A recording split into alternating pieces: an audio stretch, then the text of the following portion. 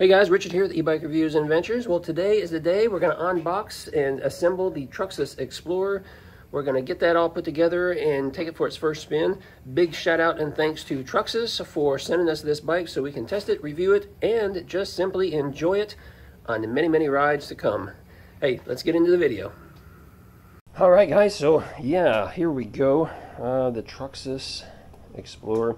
Got a big hole in the box right here, but everything looks okay in there. I kind of peeked in there, looked around best I could. Uh, it looks fine. But the first thing we're going to do, I did open the lid the other day just to peek inside. But you know what I should have done?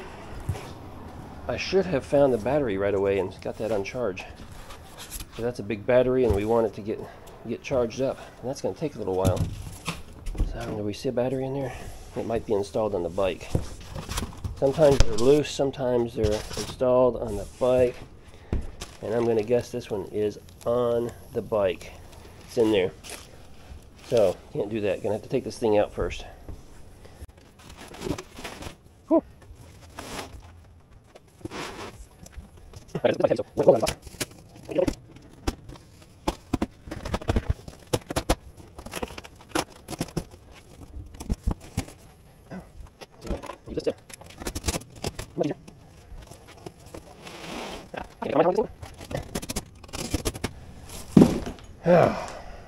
There we go. Much easier. Hey, you know, sometimes you want to save your boxes and not destroy them like this because you never know when something's going to be wrong and you have to send it back. That would be rare. Most of the time, bike companies, they don't want you to send these things back. They just have you repair it somewhere at a local bike shop or something.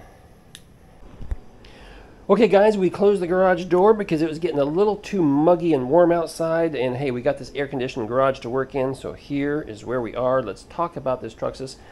Now, one of the things I noticed is that, uh, you know, boxes often get damaged, like this big hole that was in this one. Uh, every Almost every box that I get has some kind of damage, and most all of them have some type of hole. So I'm not sure what the shipping companies are doing, but some boxes come in really tore up and it's a concern because you know these these bikes are heavy they're big and sometimes they're not packaged real well. Other brands they they are packaged better. Uh, this one is packaged okay. Um, you know i've seen better but i've seen much worse also. And a quick look at uh, what the bike looks like here. I don't see any damage so i think i think we're fine okay with uh, with this packaging. I don't so far i haven't seen anything uh, but we'll get into it here in a moment and see if there's anything that might be damaged. But I like that everything is solid. It's all one one piece here, right? I mean, everything's zip tied together. So uh, let's just get in and get this thing unzipped and assembled so we can uh, get out there for a ride.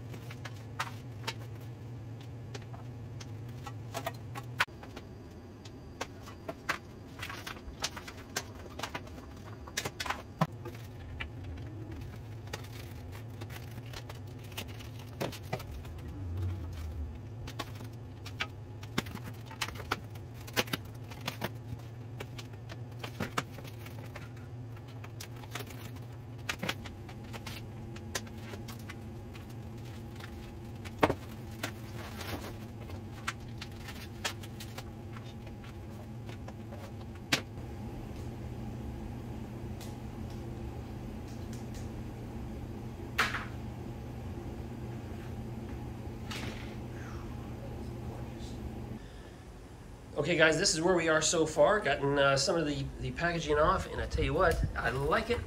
I like it a lot. Look at this color right here. Is that gorgeous or what? I like the deep reds. That's almost like a Christmas red, but, but darker. And it's a little metallic looking to it, because it's got not really metallic specks in it, but uh, it just looks nice. Yeah, I like it.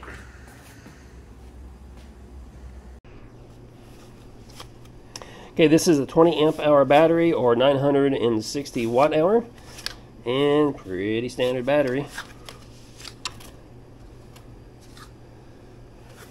Now we just need to find the charger so we can get this on charge.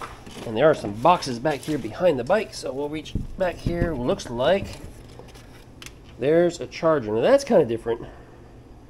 So this charger was not in a box. It's just in there banging around. I Don't care for that so much.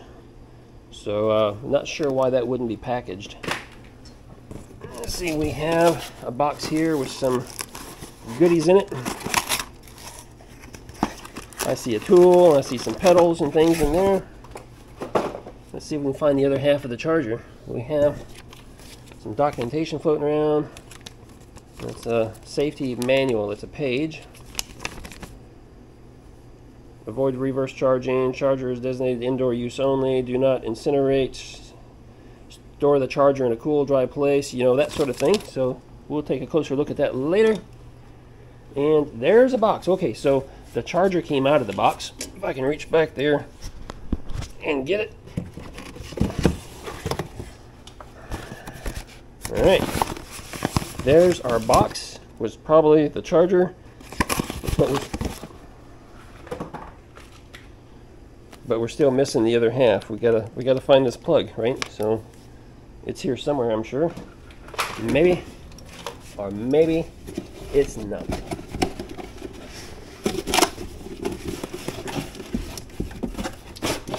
Okay, I'm not seeing the charger, guys. So that's disappointing. Let's make sure it's not in this box with the pedals. So there's pedals. What else we have in here? We have a tool. We have some bike grease. We have a reflector and a manual. We got another reflector and we have a wrench. Okay. That's all we have in that box.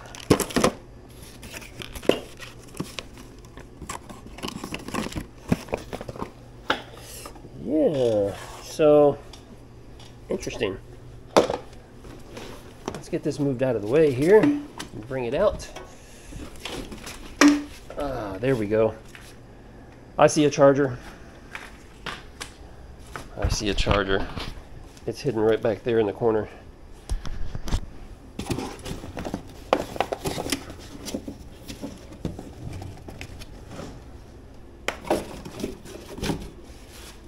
And protect that wrench.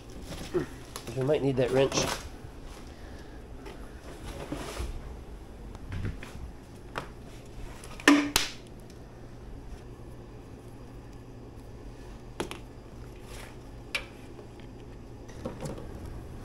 just leave this on the gonna leave this on the table. We can get the charger plugged into our little timer outlet thingy here. And we're gonna get it plugged into the battery on the end. And we're gonna turn our timer on for about four hours. Four hours would be right there We got a green light, should turn red. There it goes, turns red, so now it's charging. There we go.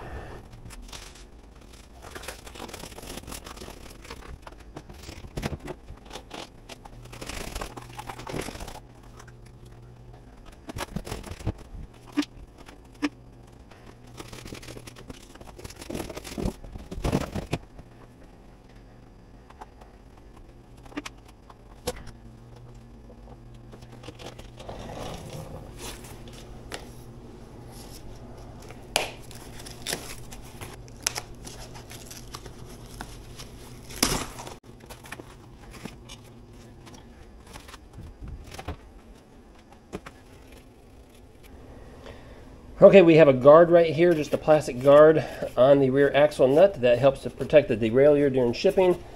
And it's just jammed on there. There you go, you gotta pull that little plastic tab out. That comes off. Um, but we don't have a derailleur guard on the derailleur. That's why they included this in order to protect it during shipping. And as long as you don't have an accident and wipe out on your bike, it's fine. You don't need a derailleur guard. They are nice to have. Okay, now that we got all the packaging off, except for the handlebars, I'll wait and leave that until I get the front tire on. It's always a good idea because things could flop over. This is going to bounce around a little bit. And, uh, you know, we don't want things to get tore up and broken. But we'll get the tire installed next, and uh, then we'll worry about installing the handlebars. So two things down here. One, you want to remove this piece right here, which means just lift up the bike a little bit, smack it a little bit with your hand. That comes right off. That's just there to protect the forks during shipping. You can dispose of that. And there's a spacer in between the uh, brake pads down there, so go ahead and pull that out as well. Looks something like that. Now, you don't want to touch the brake handles because then the brake pads will collapse and close and then you'll have a hard time getting them open back up again. So we'll be careful not to do that. Next, we're going to install the wheel. Now, for a 20 inch tire bike, you know, I could easily, for a 20 inch tire bike, I could easily, you know, reach forward and pick up the bike and bring it and set it down onto the axle bolt here. This being a 26 inch, it's going to be a little bit of a challenge by yourself. This is where some people will take their bike and actually just turn it upside down to install the tire. I don't like doing it. Um, yeah, I, I, just don't like flipping my bikes upside down. So we're going to give this a whirl and see if we can do this anyway by ourselves. I got long monkey arms, so I'm going to reach forward. Sometimes it's easier to go ahead and remove the nut and the washer, give yourself some more space, which is what I'm going to do. Just going to balance it there. Give myself some more space. There you go. Now that goes on. Give myself a little more space on this side as well. It's pretty close. Bam, there we go. Now our front tire is installed. We're gonna finger, just uh, finger tighten those for now. Come back in a minute and tighten those up. Now Troxus does give you the tools necessary in order to assemble the bike. So I can you can use their wrench to tighten down on this axle. Get everything nice and snug.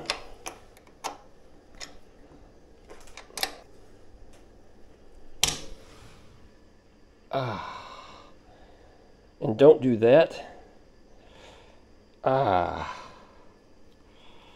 Whew. Learn from my mistakes. Ouch. All right. My wrench slipped off, and when it did, my finger got caught right here on the desk. Could have happened to anyone. Peeled off a big old chunk of skin. Woo! All right.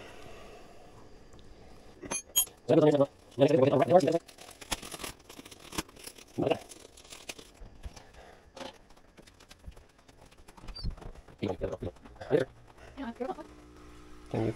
Now patch? what did you do? Can you? Can you patch me up? Yep. I don't want to bleed all over my video. See it. Not bad. Just peel the skin back. It doesn't even hurt just need to be cleaned off and a fairly good sized band-aid put on it. Yeah, leave it open and I'll catch the overspray and hurt. Nope. I can't see.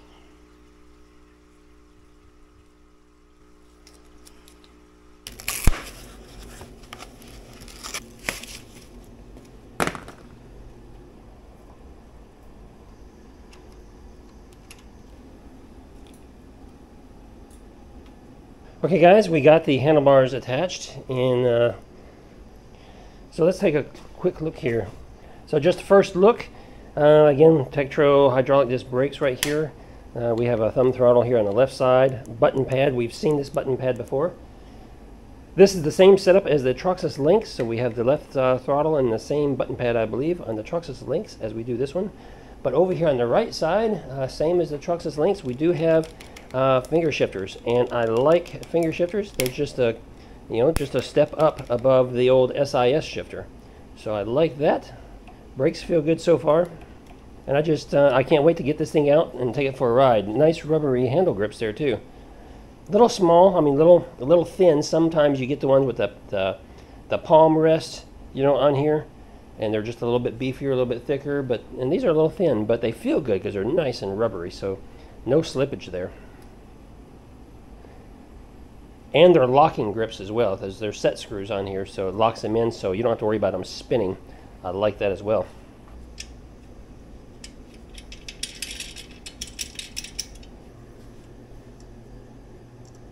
all right they even gave you a wrench big enough to get the pedals on and not all manufacturers do oftentimes uh, they forget that, that this is, takes a little bit bigger of a wrench.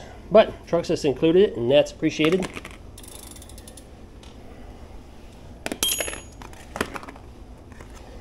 However, I like using my own wrench because I assemble so many bikes. Um, I just like having a little bit better tool. This one's a lot longer, so it allows me to get the pedal on there a little tighter. If you look on your pedal, usually there's a right and a left. There it is, we have the left one.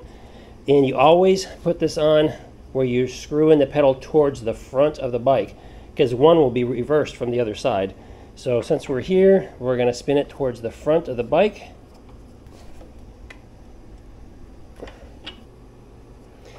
And again on this side, and again on this side, we're going to spin towards the front.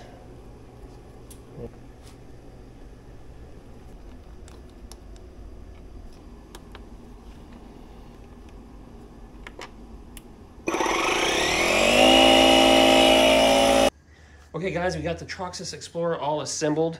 It went together nicely, didn't have any concerns with it at all. We're just charging the battery now, so it's going to take a little while for the battery to charge. You can see the battery's missing because it's over there on the table. And yeah, so we're just uh, patiently waiting for that to get a full charge before I take this out for a first spin. I wanted to give you a quick first look here. Um, yeah, looking nice. Nice uh, Kenda tires, uh, really nice, or good looking uh, shocks there, hydraulic shocks. We got hydraulic Tektro brakes. We got a nice button pad. We've seen the same button pad and thumb throttle on the Troxus Lynx. Uh, display there, can't turn it on yet. We have uh, finger shifters over here, and that's an 8-speed, which I like it a lot, sure do. Uh, just an amazing color on this bike. Just beautiful. Oh my goodness, it's beautiful. So we got a nice little rack back here. Uh, got some connection points. Uh, maybe we can screw some accessories on at some point. Uh, let's see, what else can I show you about it? We got the Bafang. It is a Bafang motor, 750 watt. 80 newton meters of torque. We have what looks like the, the brake lights are mounted onto the frame on either side. So that's kind of cool. And yeah, so that's all I'm going to share with you right now until uh, until I get a chance to, to ride it for a little bit and get familiar with it. Then we will do a full review. But be, uh, be looking out for those riding videos because I am looking forward to riding this bike. It is super, super nice. Hey, that's it for this video. Until the next one, uh, you guys ride safe.